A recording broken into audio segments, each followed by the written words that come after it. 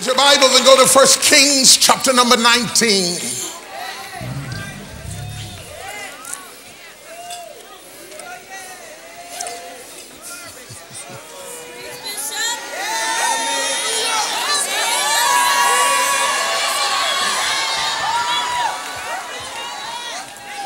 Hallelujah. God is good. It's our custom to stand for the reading of the word. If you're able bodied, please indulge us. 1 Kings chapter 19, we'll begin reading at the 17th verse and conclude with the 21st verse. We want to welcome you to the potter's house. Amen. There's absolutely no reason in the world for you to feel uncomfortable. Unless wild, crazy, excited people for Jesus bother you. You should get along real good with us. If you're loud, we're loud. If you're quiet, we're tolerant. we don't mind you being you if you don't mind us being us. We can all mix it up together and God gets the glory out of all of it. Amen. I want to encourage you to get out to Bible class if you can. I don't say that because attendance is low, it's actually quite high. But there are some things that God is talking about you need to hear. And uh, sometimes we perish for the lack of knowledge the Lord's made available to us, and we don't come get it. It'll make a difference in our lives. As I talk about economic empowerment, I realize that I'm not going to exhaust the subject, nor am I a professional on the subject, but I can lay some foundation that gets you started that causes you to understand how to use your faith in alignment with your situation to unlock the principles of God in your life. I think one of the one of the one of the great advantages of going to this church is because no matter where you are financially, I've been there. you can't outbroke me. If you was broke, I was broke up. You broke her, I was brokest. Amen. Okay, so I relate to the struggle. You had bad credit, my credit had AIDS. Mm-hmm. In the final stages.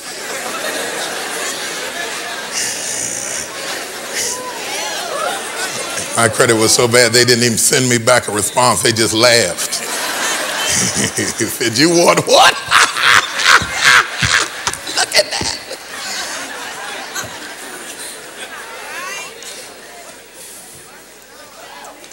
But God.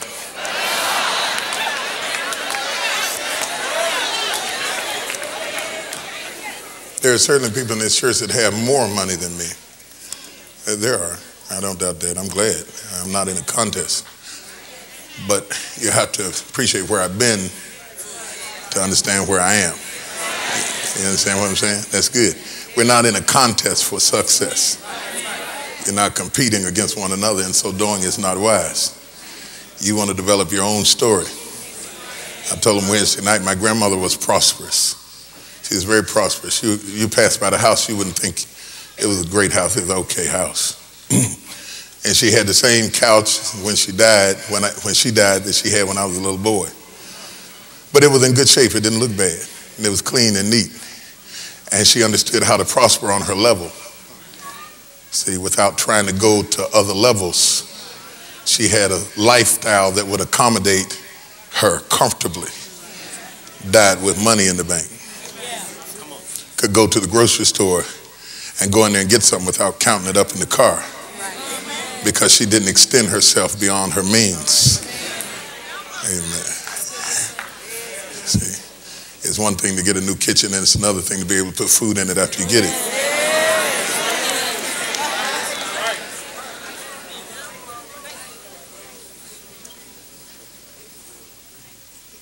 Rolls Royce and don't have a garage.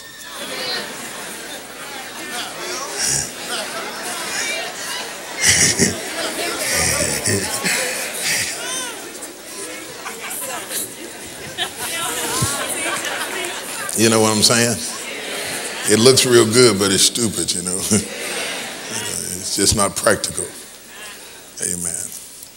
I first got my Mercedes, I rode up to the gas station. and asked him how much was the gas. He said if I needed to ask that, I didn't need the car.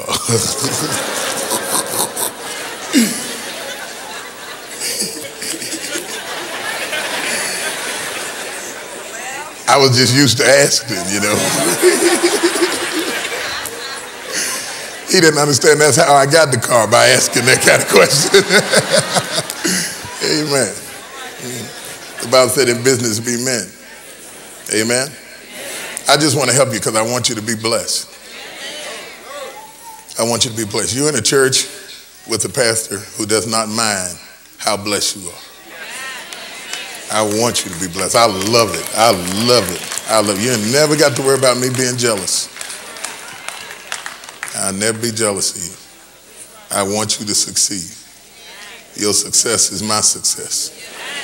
You are the proof of, of, of the legitimacy of my ministry. Not just your finances, but, but development in every area spiritually, emotionally, relationally, every area. You're proof positive that the food was good. That's right. You see what I'm saying? I want you to have that. I'm going to leave a thought with you. I won't be too long, I don't guess. I want you to look at the 19th chapter of the book of 1 Kings, verse 17 through 21. When you have it, say amen. amen. Allow me to read it in your hearing. And it shall come to pass that him that escapeth the sword of Hazael shall Jehu slay. And him that escapeth from the sword of Jehu shall Elisha slay. Yet I have left me seven thousand in Israel, all the knees which have not bowed unto Baal, and every mouth which have not kissed him. So he departed thence and found Elisha, the son of Shaphat, who was plowing with 12 yoke of oxen before him, and he with the 12th. And Elijah passed by him and cast his mantle upon him. And he left the oxen and ran after Elijah and said, Let me, I pray thee, kiss my father and mother, and then I will follow thee. And he said unto him, Go back again, for what have I done to thee? And he returned back from him and took a yoke of oxen and slew them and boiled their flesh with the instruments of the oxen and gave unto the people, and they did eat. Then he arose and went after Elijah and ministered unto him. Verse 20. He left the oxen and ran after Elijah and said, Let me, I pray thee, kiss my father and my mother, and then will I follow thee. And he said unto him, Go back again. Go away. Go back. Go back. Go back. Go back.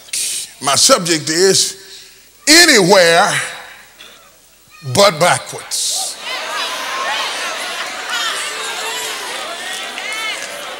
Anywhere. Makes me absolutely no difference where I go anywhere but backwards. Let's pray. Father, I thank you for this moment. I see that with every ounce of strength I have, use me for your glory. Endow me with the kind of power that makes preaching simplistic and effective. Revolutionize somebody's thinking today. Change us, rearrange us, just do not forsake us. I thank you for being the God of all flesh. There is nothing too hard for you. And I pray today in the name of Jesus that the power of God would break out on the right and on the left, and that people everywhere would be changed and delivered and set free, not by me alone, but by the word itself and what it is able to do. I thank you and I praise you. In the name of Jesus, we pray. Somebody shout, Amen. amen. You may be seated on your way down. Just say anywhere, anywhere. but backwards.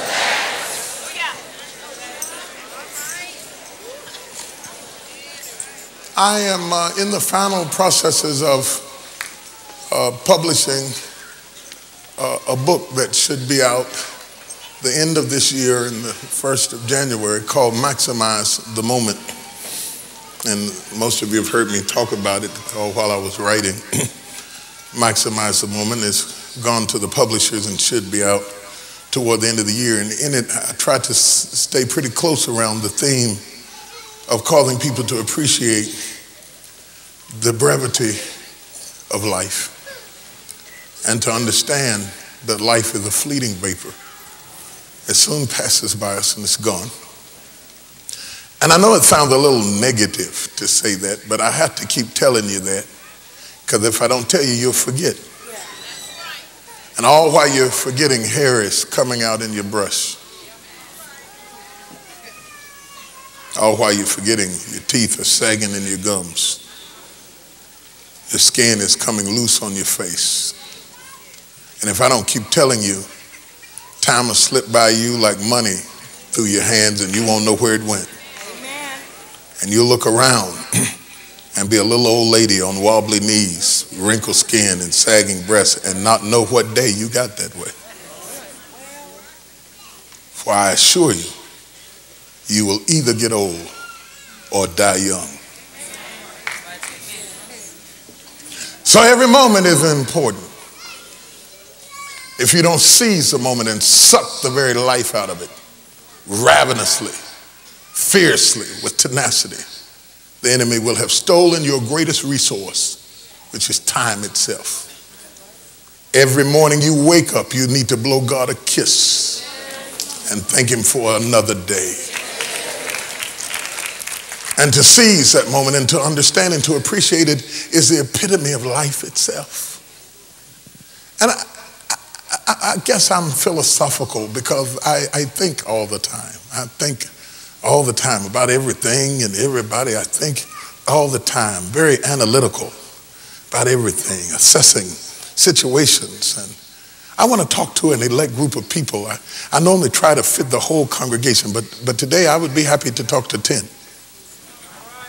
I would be happy to ignore the masses of you and reach the minority if, if I could get this thought into somebody's head. I want to I want to describe someone who, who is thinking and wondering and has always wondered why they were so different. there is a feeling that comes upon people that are elect and special, a feeling that is not particularly celebrative, it's in fact frustrating. Because our instinct is not to be elite. Our instinct is to be accepted. And we want drastically to fit in we want to fit in. That's why we change our hair with changing styles. Sometimes it's not even that we like the style better, it's just that everybody's wearing it this way now. And we want to fit in. And the fear of having an old hairdo, regardless of the fact that it looked good on you, sometimes will intimidate you into change because we desperately need to be accepted. And when we seek acceptance, many of us become frustrated only to find out that no matter what we change about ourselves, somehow we're still not accepted. For one reason or another, we're not accepted. If it's not our economical status, our social status, it's our academic level. If it's not our academic level, it's the color of our skin. If you resort back to people of your own ethnicity, they still separate from you. If you say, Well, I'm going to leave my people and stick with my family, they still separate from you. And ultimately, you find yourself kind of isolated. And you begin to wonder, Why am I not accepted? Not understanding that God has crafted you uniquely and specifically for his own divine purpose, and that God never made two people alike ever. That you are unique in and of yourself, and he didn't mean for you to be like anybody and you begin to understand to understand yourself is the epitome of wisdom. To understand who you are. In the process of understanding who you are you have to come to the one who made you. Because you ultimately have to ask him. When you get through asking people what do you see in me? What do you think of me? And how do you like me? You ultimately have to go back to the manufacturer and say why am i thus? Why am i like i am? Which leads you to self-analysis who, who am I? Why am I? Where am I? How am I? And what am I to do? At the point that you get to these questions, you are ready to mature. As long as you're trying to figure out who everybody else is, you're not ready.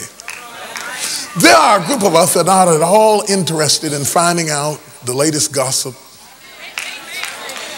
on anybody. There, there are a group of us who don't return the phone call, the people who have the latest scoop.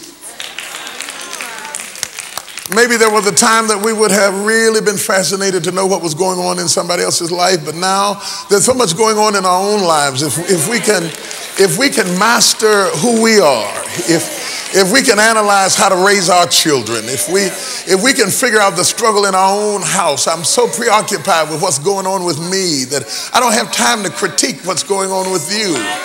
I have to know who, who am I? That, that's, that's this, this thing that gets down inside of you and it begins to incubate potential. Potential. Potential. Potential. You have potential. You have potential potential can be a frustrating thing because there's a difference between having potential and performing at the level of your potential. All of a sudden, you begin to understand I feel like I have potential. How many people feel like that? I feel like I have potential. I, I, I, can't even identify it. I can't specify it. Uh, I can't articulate it. But I feel like there is something down inside of me that is yet to be developed that if it came to fruition, it would change the world as I know it. I feel like there is some reason why I was raised like I was raised. There is some reason that I went through what I went through. There is some reason that I endured what I endured and survived what I survived. I feel like somebody who has all the raw ingredients the flour, the butter, the milk, the sugar, everything to make the cake. I just need somebody to help me put this together. Potential, potential, unrealized dreams laying down in the belly of my spirit. It begins to get down in you, and as time passes, you begin to say, I've got to answer the questions because I'm convinced that life is some sort of huge, enormous test. It's just a big test with lots and lots of questions, primarily fill in the blank. And the issue is to fill in the blank before the bell rings and life is over and I die with unanswered questions. Life is one big test. And if I can get out of me all that's in me before the bell rings, I passed. Don't let me die with the question still left blank. I must have the answer. Have I got your attention? It is this kind of mental pursuit that separates you even more from people because everybody else just wants to talk about foolishness. What was the score of the game? Who won? What's up? What's going on? But as life begins to tick and tick and tick and tick and tick, you're ready to deal with some serious questions in your life. I, don't even like to be around silly people. I'm allergic to silly people. They, they make me itch or something. I have an allergic reaction to them. They make my eye twitch or something because I've come to a point now that I like to be around people of thought people of thought, people that are thinking something, people that are doing something, people that are going somewhere because creativity is contagious. And if, if you get around somebody that's creative, it is, it is contagious. Somehow by divine osmosis, it just carries over and begins to affect you. And, and sometimes you just get hungry to be around somebody who is thinking something.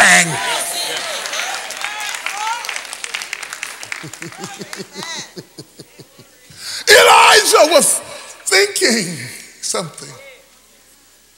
He's out in the field with 12 yoke of oxen, 12 yoke of oxen, and he is on the 12th plow, plowing, with at least 11 other men plowing down the field.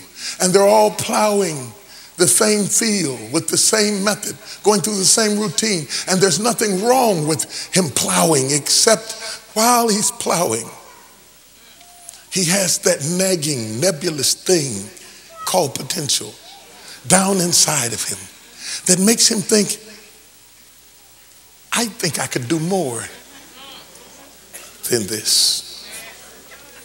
I'm doing the same thing today that I did yesterday, that I did the day before that, that I did the day before that. I'm basically going around and around in circles dealing with the same rocks and roots and branches and the same basic row after row after row. I've seen the same thing before. When you start thinking like that, you kind of look around to see if the other people are thinking that too. And, and you look at the other 11 men who are plowing behind the ox and they're smiling and they're laughing and you say, it must be me. I must be crazy.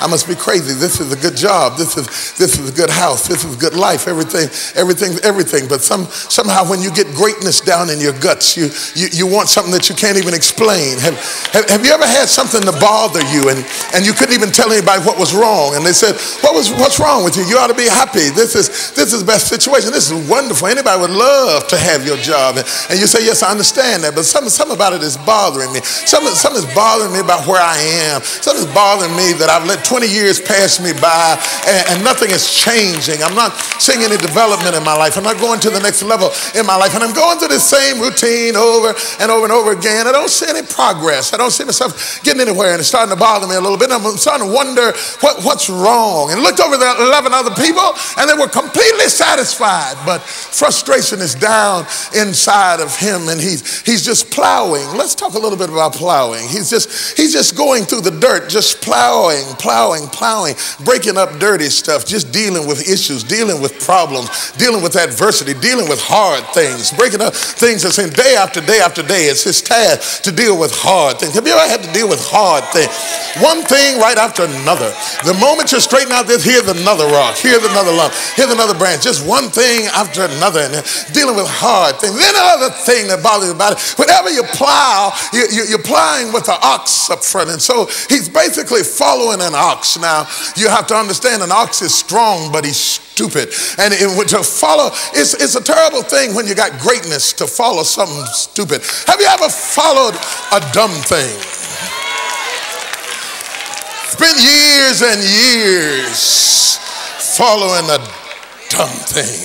It's all right if, if you're not thinking no more than the thing you're following, but but but when your thoughts have escaped your circumstance and, and you're thinking about going down the road and this dumb thing is leading you, and you begin to wonder, it might be better if I was leading it than how how in the world did I get in a situation where I was following a dumb thing? Elijah is following a dumb thing. Some of you right now are suffering because you're following a dumb thing. You listen at that sinner, and that sinner got you in trouble and drug you into a ditch, and you lost your joy and lost your anointing and lost your peace, girlfriend, because you've been following a dumb thing. Have you ever followed a, a dumb thing? Some of us are frustrated right now because we've been following a dumb thing. You don't need anybody else in your life to make you do bad. It's time to get out from behind dumb things. I don't need another dumb job. I don't need a dumb church. I don't need a dumb leader. And I don't need a dumb husband.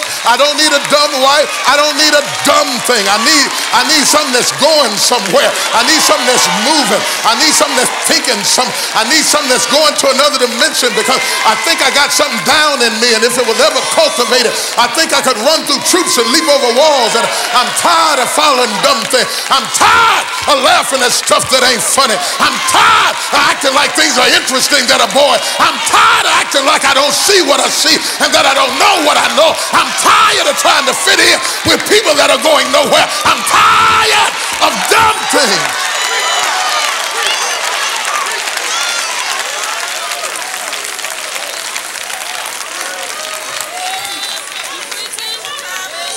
Slap somebody and say, Not another dumb thing. Not another one. Not another dumb decision. Not another dumb idea. Not another dumb scheme. I'm too old. I don't have time to do nothing else stupid. I've made enough mistakes. Not another dumb decision. I don't want to be cursed to follow behind dumb decisions. Some of you have been waylaid for years because you've always been behind dumb decisions. Don't make another dumb decision. Tell somebody, say, not another dumb thing. Not just because you're lonely, not just because you're tired of being by yourself, not just because you need somebody to help you pay the rent, not another dumb thing. Go, no.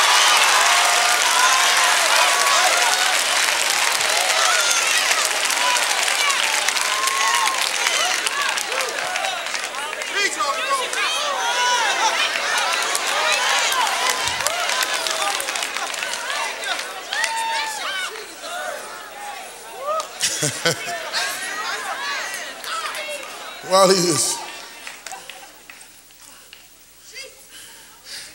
an uncommon man in a common situation, frustrated with mediocrity, tired of average. tired, is anybody tired of average? Tired of making C's, tired of just getting by. For your whole life, you got a C minus. yeah, you pass, but just, just, just average, just barely. and that's all right if you're really a C student. A C is good if you're really a C student. But when you know you could make A's, a C really gets on your nerves. hey!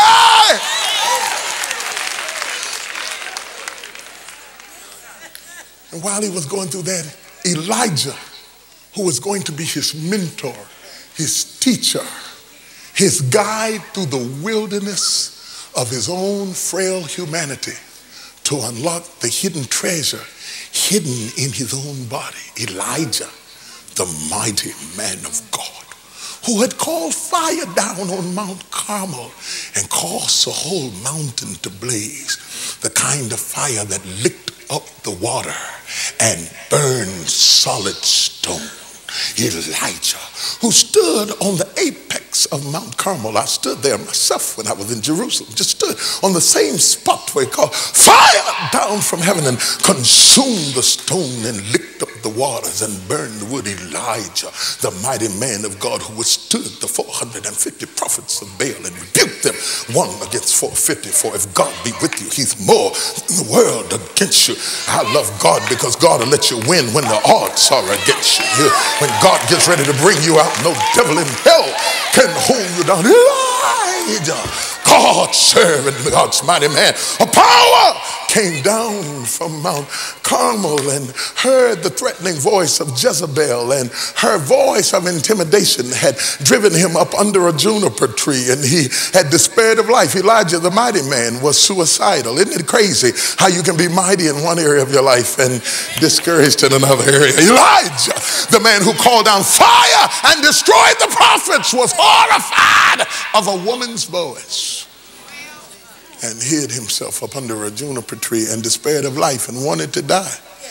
But his tragedy was just God's instrument of direction. For God moved him from the mountain where the glory was over to the juniper tree where he sustained him to the cave where he rearranged him. And there in the cave, God began to speak to him and to train him. You know, you can get God's word even in a cave. And while he was in a cave, God spoke to him and began to give him a word and brought him out of the cave. Touch somebody just for a moment and say, Come out of that cave. Don't, don't allow nobody to push you into no cave where you can't get out. The devil is a lie. I don't care what you did. You can't help what you did. You can't stay in the cave the rest of your life. So you had a baby out of wedlock. Bring you and the baby out. Come out, come out rolling you and the baby. Come out whistling. You can't stay in a cave the rest of your life. Come out of the cave. God, I thank you for bringing me out of my cave. How? Ah! Can't nobody do me like Jesus. Folk will throw you in a cave and roll a stone in front of you. But when God says, come out,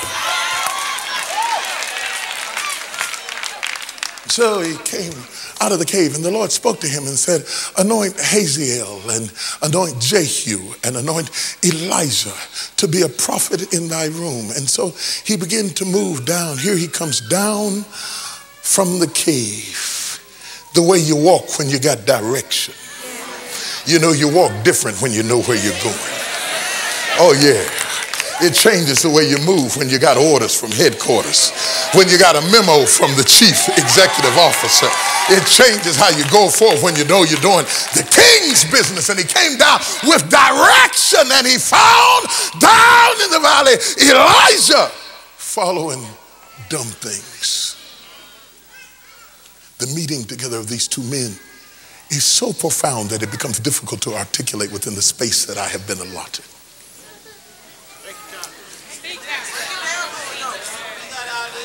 It is extremely profound because here we see the collision of the answer and the question, the problem and the solution. Here we see a theological algebra. The answer is coming right down to the question. And the only thing to be resolved is the space between them.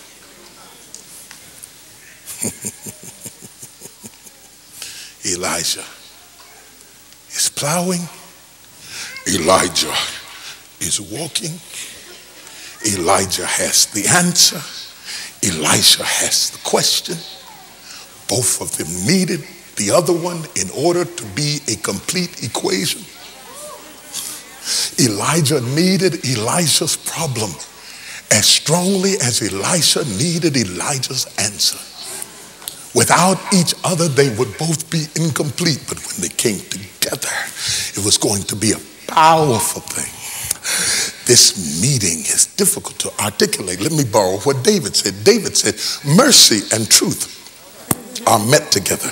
Righteousness and peace have kissed each other. Truth shall spring up out of the earth. Righteousness shall look down from heaven. Yea, the Lord will give that which is good, and our land shall yield her increase. This type of meeting is like David and Jonathan. It's like Naomi and Ruth. It's like Paul and Timothy. It's like Jesus and John. This kind of meeting has spiritual ramifications that are going to shake the world as we know it. There are certain people that when they get it together, they will shake everything around them.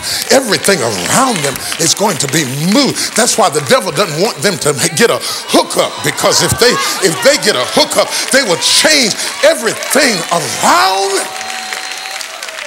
And what God decided to do was to give Elisha a hookup. Somebody holler, hook me up, Lord. You see, sometimes it takes God to hook you up. Sometimes God will allow you to be at the right place at the right time to meet the right person to change your life. Whoever the 10 folks are that I'm preaching to today, you need to get ready for God to hook you up. I said, You need to get ready for the Lord to hook you up. There's going to be a hookup to come in your life. God's going to put you at the right place at the right time with the right person for a life shaking, devil chasing, hell wrenching, gut renewing, heart fixing overflow of the Holy Ghost. I mean, a gully washing downpour, Holy Ghost saturating, demon chasing anointing is about to break loose in your life. Somebody holler, hook me up. Hallelujah. If the devil had any sense, he would have stopped these two men from ever getting together because there are some folk when they get together, well, one can chase a thousand, but two, ten thousand. There are some folk that when you get together with them, you are better with them than you are by yourself. If any two of you agree as touching anything on earth, it shall be done.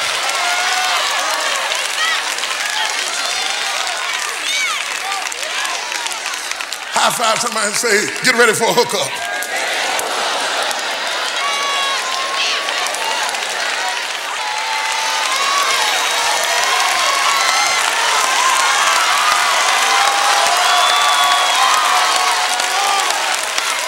Everybody who's believing God to hook you up, give him a praise right now. Just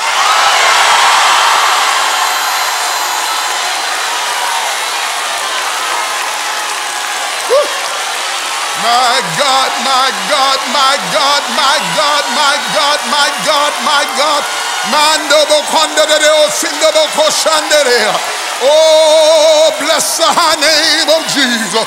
Bless the wonderful name of the Lord. Bless his high name. He's worthy. Oh, oh.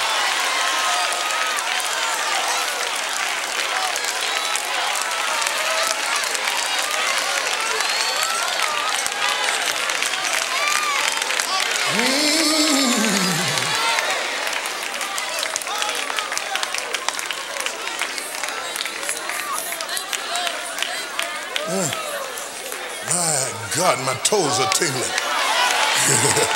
my hair is standing on edge. I feel the glory of the Lord in this place.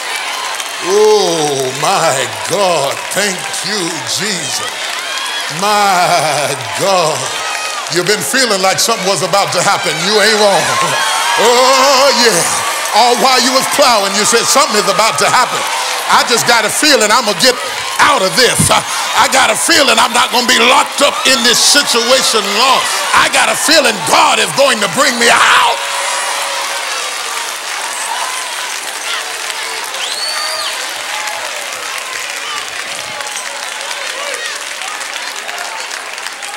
So while they were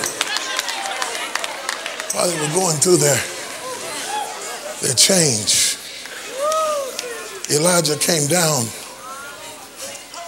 off the mountain. He came and found that boy, Elisha. And Elijah was just sitting up there plowing. Mm. Looked him over.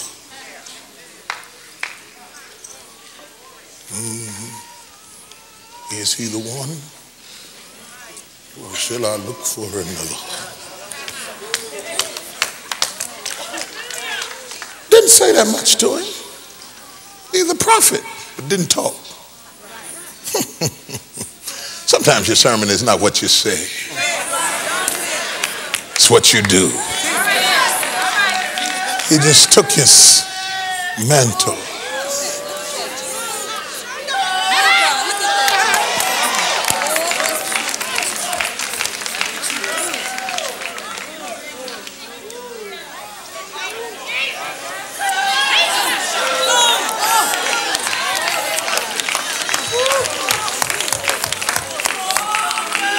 Just let it pass over him. And when he let it pass over him, he just kept walking. Mm. And when he kept walking, he looked behind him and Elisha was following him. Because there are some folk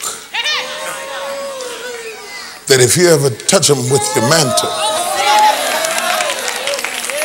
you ain't got to beg them to come, they'll, they'll be behind. You know, I thought to myself, it's interesting because if he came to Elisha, he had to walk past those 11 other brothers. And the 11 other brothers were satisfied to follow a dumb thing. But when you've been waiting on a chance to get out, you can't take a good hot message. One good sermon will wreck your nerves. when you are really the one, everybody else can go on back to business as usual. But when you really been waiting on a breakthrough, when that mantle falls on you, baby.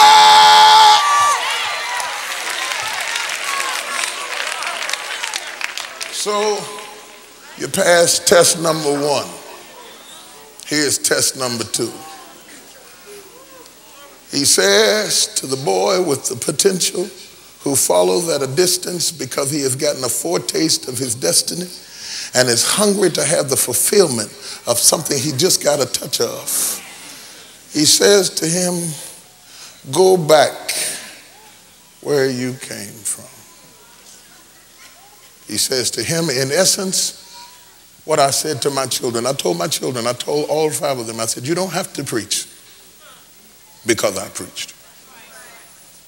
You don't have to pastor because I pastor. In fact, I said, I'll tell you something. If you can get out of doing it, don't do it. I didn't just tell him that because it's hard, though it is. I didn't tell him that because it's rough, though it is. I didn't tell him that because it's lonely, though it is. I didn't tell him that because you're going to get used, though you will. I told him that because if I can talk you out of it, you ain't supposed to do it.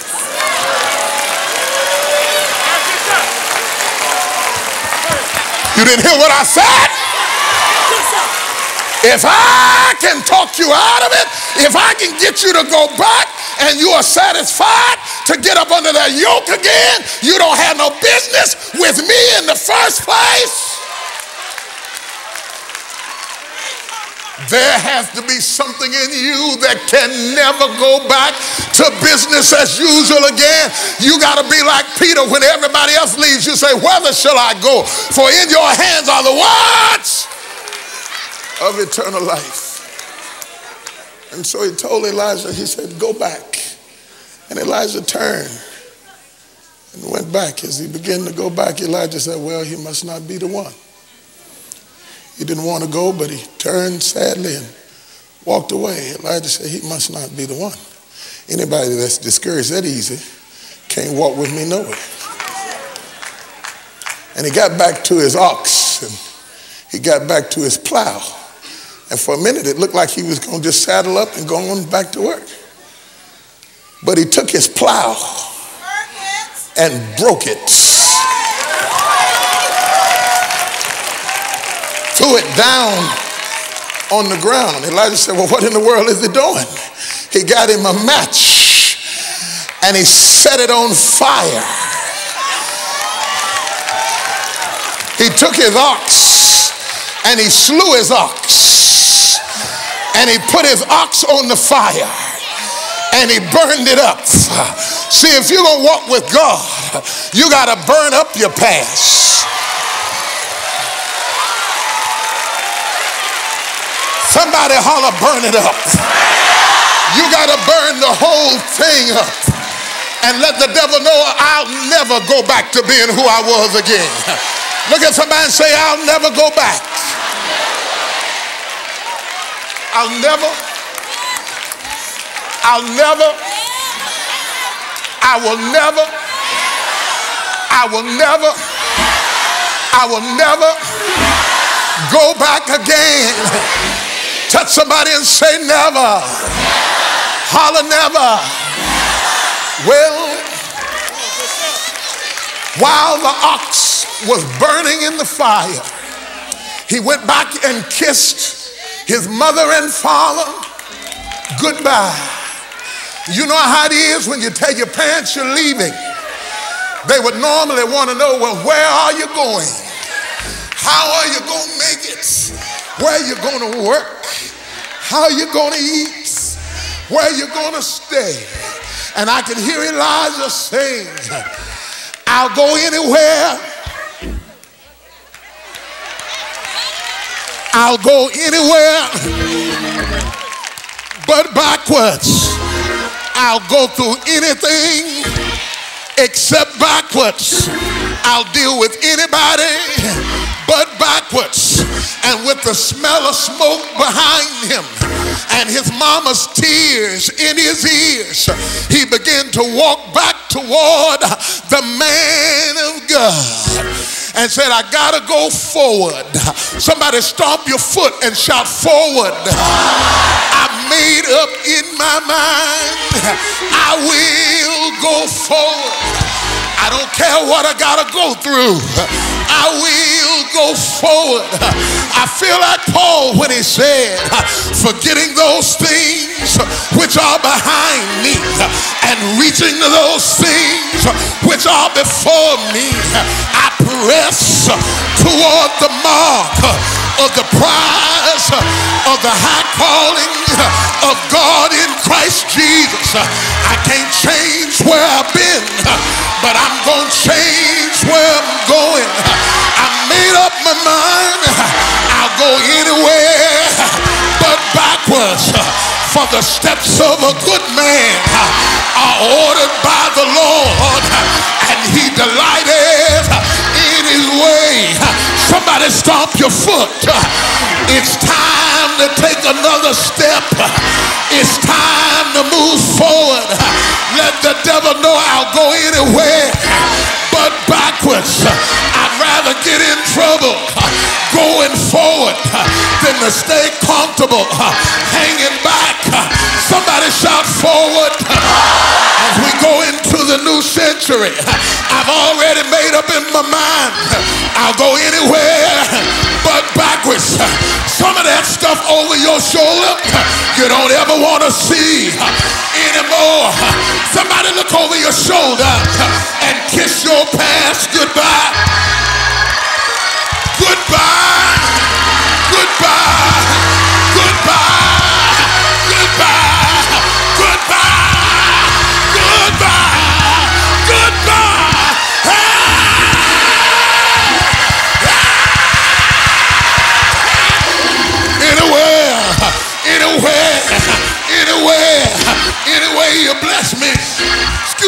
Feel like preaching now. Anyway, you bless me, I will be satisfied. Lord, I'll go. If mama don't go, if daddy don't go, I'll go. Anyway.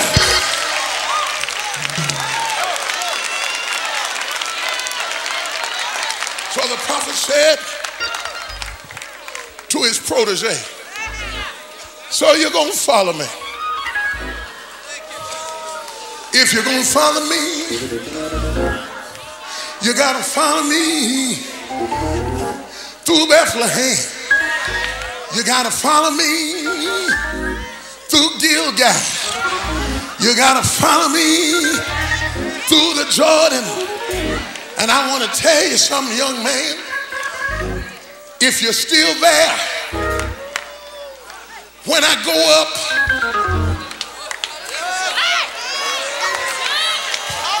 I will give you a double portion of my spirit.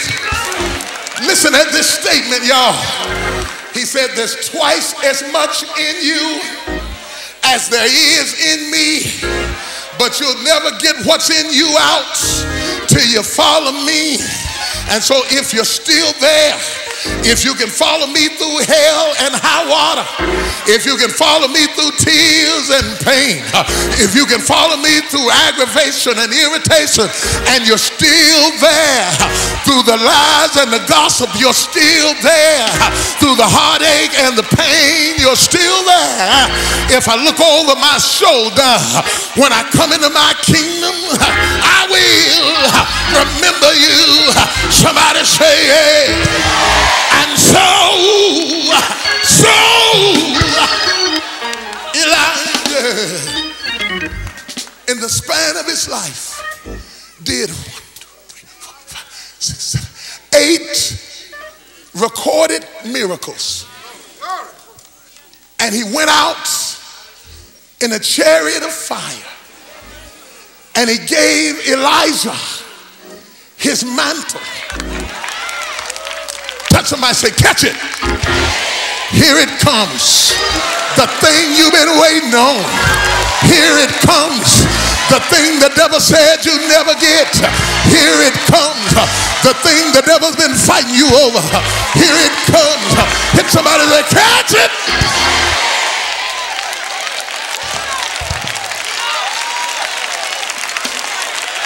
Can I show you one more little thing?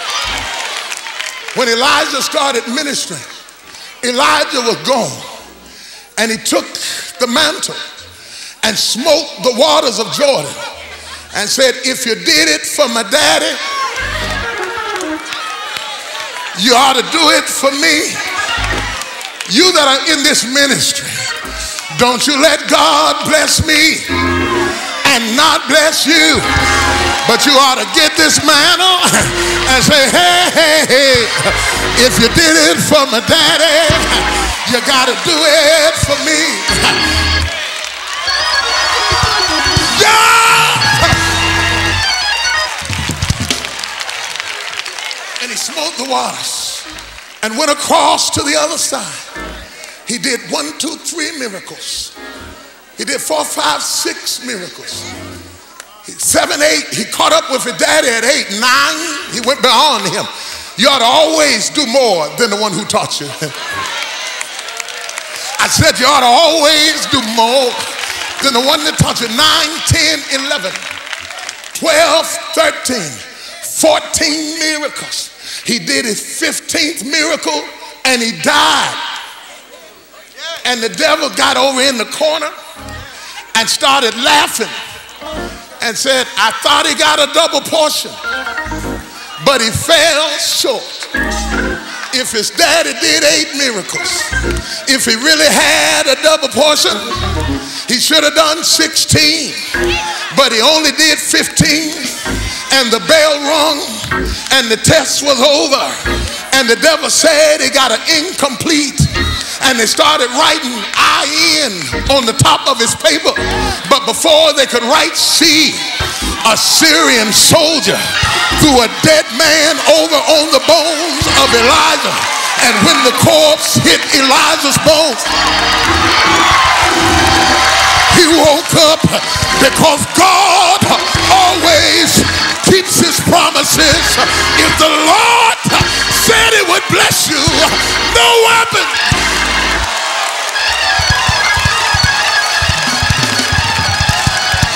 Slap somebody and tell them it ain't over.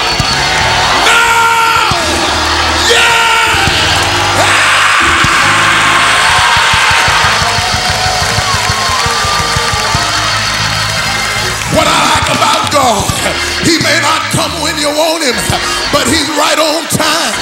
What I like about God, He'll stop your enemies from laughing at you. I know they've been laughing at you, but girl, it ain't over yet. Before God gets through, He's going to bless you out of Zion. He's going to bless. I got to quit because I feel a preaching spirit about me. Somebody say it. Anyway anywhere.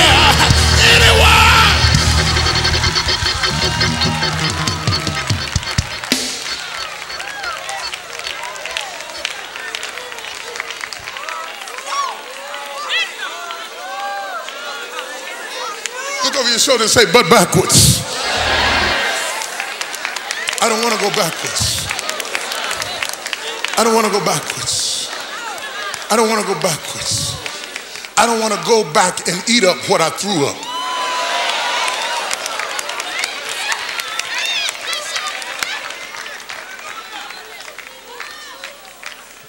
I don't want to go backwards anywhere. Anywhere. But backwards. Lord, put me around progressive people.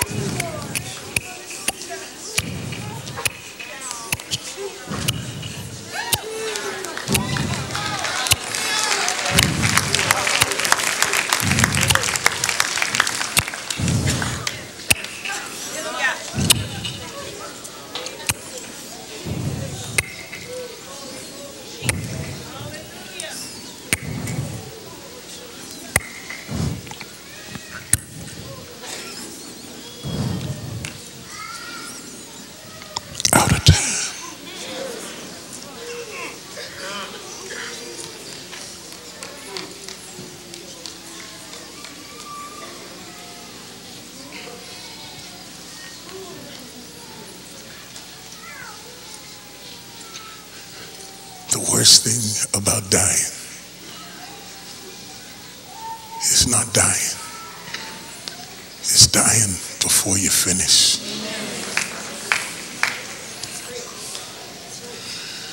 The saddest death is the one where there hadn't been living first. If I could rob the most valuable thing you have, it would not be your wedding ring, not your car, not your house, not your stocks, not your bonds. Be your time. You take my time. You've taken everything. And you cannot give it back. All I have is now. And I've got to seize the moment gasping man sucks air. I need it quick before I run out of time. Anywhere but backwards. I don't want to go back to nothing I've already been through. I don't, don't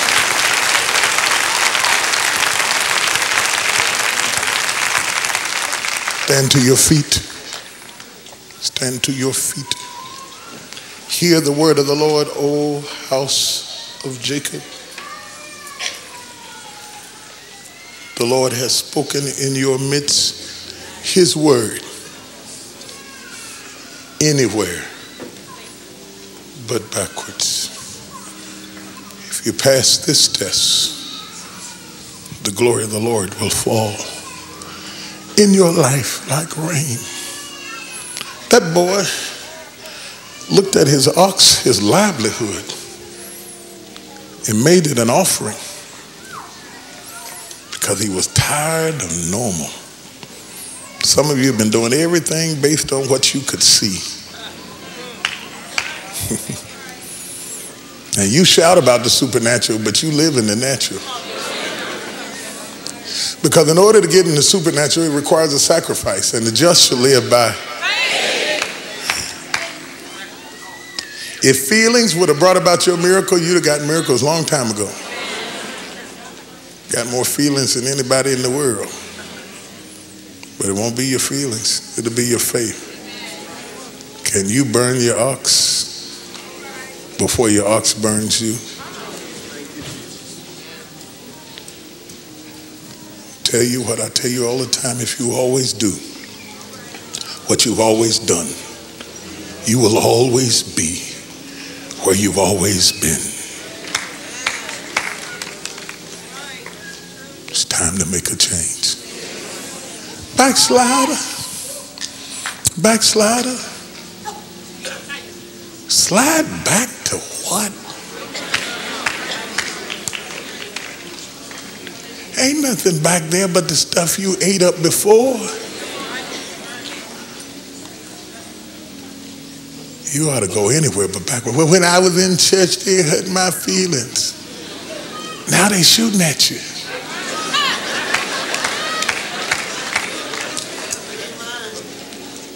I ain't never seen such sensitive street folks. You're a gangster in the street. Get in the church and start crying. They wouldn't let me usher. Gangsters with hurt feelings. You get out there in the corporate America, everybody lying and cheating and stealing and finagling. Folks cutting your throat on your job. Trying to steal your customers, your clients, and everything else. And now you're going to get in church and talk about you can't make it? Come on, sir. You're just another, corporate America is just another type of gang. It's just, it's just dressed up mafia.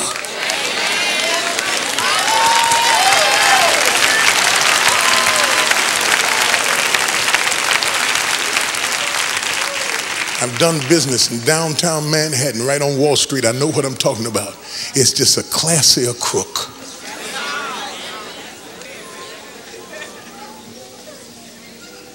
You don't slide back to that. That's all you want to be before the bell rings? Sinner? When I get saved, I'm gonna really be. I'm not ready now for it. When I when I get in, well, I'm not gonna be like those church right. If I couldn't do no better, I'm not gonna do it. I'm gonna be whatever I am. I'm gonna be real. I'm gonna keep it real, man. I'm gonna keep it real. I'm gonna keep it real. Stupid. You're following a dumb thing. You're following an ox. Who told you you had a win? Who told you you had a someday? All you have is today. He said, The day you hear my voice, harden not your heart.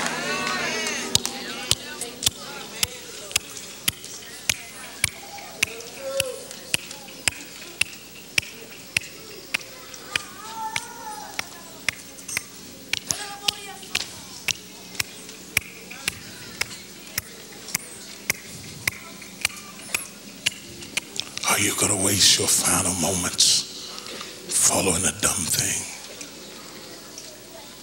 I plead with every backslider and every sinner in this room.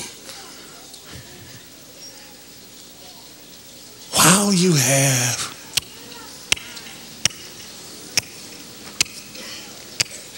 time, slip into the nearest aisle.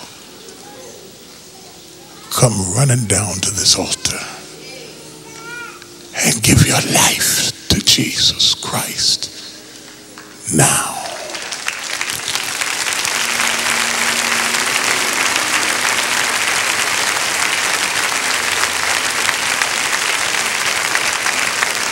Right now, right now, right now, move now.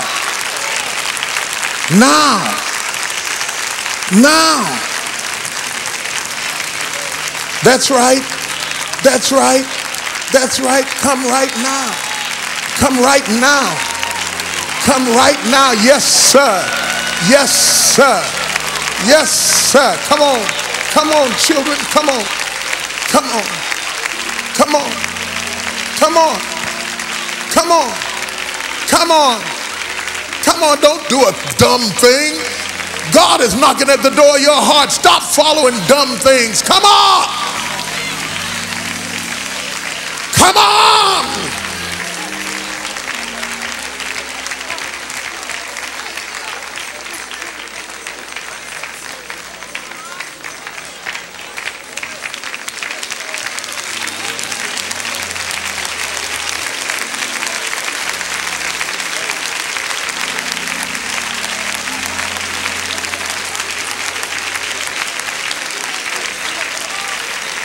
Tired of doing dumb things. I'm tired of making dumb decisions. I'm tired of living beneath my privilege. I know better than this. I'm tired of following oxes. Deliver me from dumb things. I'm waiting on someone to come to Jesus. Somebody's daddy coming to Jesus. Somebody's mama coming to the Lord. Come on, come on, come on, come on. Come on to Jesus. Come on to Him. Come on to Him, to Him, to Him.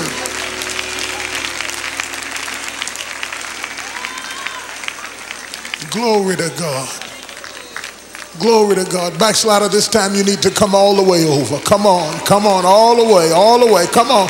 Burn the whole ox up. Burn it up. Burn it up. Burn it up. Burn all of it up. Burn up the phone book. Burn up the phone numbers. Burn it up. Burn up the phone if you have to. Burn it up. Burn it up. Burn up the crack pipe. Burn it up. Burn it up. Burn it up. Burn it. Burn it. Set it on fire. Clean out your house. Start throwing out stuff. Throw them cigarettes out of your pocket. It's time to burn up. Burn up the whole house. Burn it up. Everything that reminds you of where you came from. Get rid of it. Get rid of it. Get rid of it. Get rid of it. My God. My God.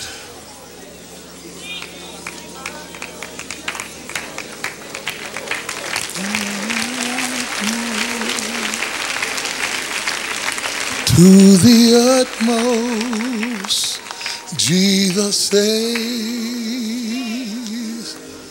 To the utmost, Jesus saves.